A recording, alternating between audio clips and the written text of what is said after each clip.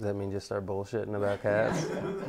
when I was a little kid, I always dreamt about making vodka for cat lovers. Me and our friendly neighborhood cat Whiskers just sitting there on the sidewalk dreaming about making vodka for cat lovers.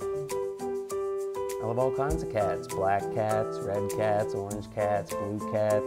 Every corner of the distillery is just cats, cats, cats. So choose HOLLA the vodka for pussy lovers.